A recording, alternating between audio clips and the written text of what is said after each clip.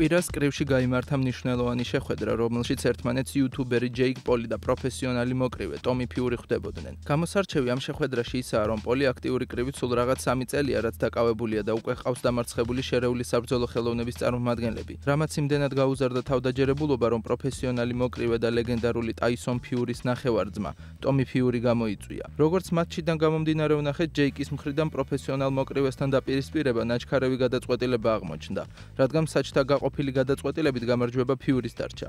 თუმცა დასაფასებელია ჯეიკის მონდომება, რომელმაც ცხოვრებაში პირველად კრივის ხელთათმანები 2019 წელს მოირგო. ცოტა შორიდან რომ დავიწყოთ, ჯეიკ პოლი თავის ძმა ლოგანთან ერთად 10 წელია YouTube სივრცეშია და საკმაო პოპულარობითაც სარგებლობს. ამ დროისთვის ორივე ძმას 20 მილიონზე მეტი გამომწერი ყავთ, თუმცა საზოგადოების ყურადღება უფრო მეტად სკანდალებით და ამპარტავნობით მოიპოვეს, რის გამოც დიდი სიყვარულით ვერ სარგებლობენ ფართო საზოგადოებაში. ჯეიკის ინსპირაცია მისი ძმა ლოგანია, რომელმაც პროფესიონალურ კრივში მოღვაწეობა მასზე ადრე დაიწყო და YouTuber KSI-ს ორჯერ დაუპირისპირდა, საიდანაც ერთი ფრემორჩა და ერთშიც დამარცხდა. მაგრამ შედეგზე უფრო მნიშვნელოვანი ისაა, რომ სოციალური მედიიდან პოპულარობით მან ჯერ მანჩესტერის არენა გაავსო, მერე კი ლოს-ანჯელესის Center-ის, საიდანაც ჯამში დაახლოებით 50 მილიონი დოლარი გამოიმუშავა. ამის შემდეგ საჩვენებელ ჩხუბში საერთოდაც ლეგენდარულ ფლოიდ მეივეზერს დაუპირისპირდა და 14 მილიონი დოლარიც მიიღო. მოგვიანებით ჩაერთო უკვე პროფესიონალურ კრივში მისი ძმა ჯეიკიც, რომელმაც საბრძოლო ხელოვნებებისგან შორს მდგარი ადამიანები დაამარცხა. მათ შორის კალათბურთელი ნეიტ რობინსონი. შემდეგ კი შერეული საბრძოლო ხელოვნების წარმომადგენლები, მათ შორის UFC-ს ყოფილ ჩემპიონს ტაირონ ვუდლის ორჯერ მოუგო. თანაც ძმები მატჩის წინა პრეს-კონფერენციებს შოუს ელემენტებით ტრეშ-თოკით ამდიდრებენ, რაც მაყურებლების დაინტერესებას ერთი-ორად ზრდის.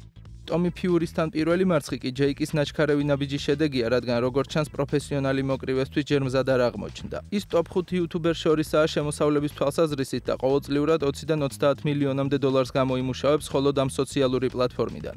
რაც შეეხება სპორტულ კარიერას, Forbes-ის ინფორმაციით, ჯეიკ პოლმა 2022 წელს 38 მილიონი დოლარი გამოიმუშავა. ტომი ფიურისთან წაგებით კი წინასწარ გათვალისწინებული 3.2 მილიონი მიიღო და სატელევიზიო შემოსავლებიდან დამატებით კიდევ 6 მილიონი დოლარი. ამას გარდა პოლს საკუთარი ბიზნესებიც აქვს, კერძოდ საპრომოუტერო კომპანია MVP Most Valuable Promotion, რომელიც ხელს უწყობს სხვადასხვა ჩხუბების ჩანიშვნას და ლოჯისტიკური დეტალების გადაწყვეტას.